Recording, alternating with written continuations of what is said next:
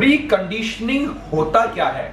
I know मैं बहुत सालों से इसका शो मचा रहा हूँ बट है क्या? बताइए मेन चीज़ क्या है?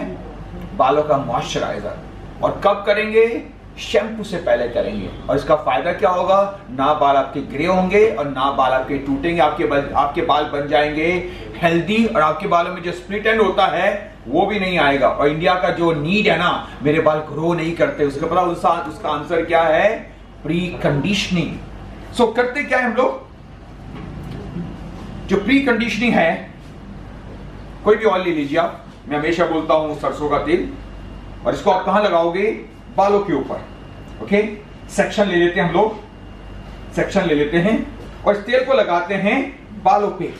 मतलब मुझे स्किन टच नहीं कराना है। मैंने इसको बालों पे लगाया।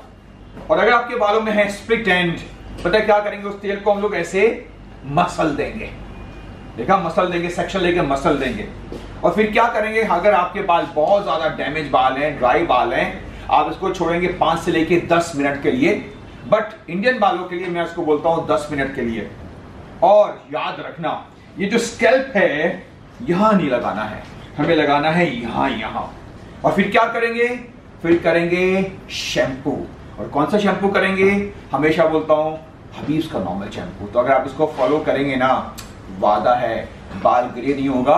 वादा है कभी बाल का बांका नहीं हो सकता। सो so, पावर क्या थी हमारी आज की? हमारी पावर थी प्री कंडीशनिंग प्लीज़ हाँ प्री कंडीशनिंग हमारी पावर है।